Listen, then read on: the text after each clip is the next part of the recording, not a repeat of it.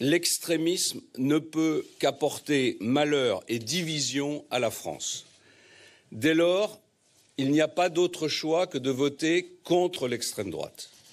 Je voterai donc en faveur d'Emmanuel Macron. J'estime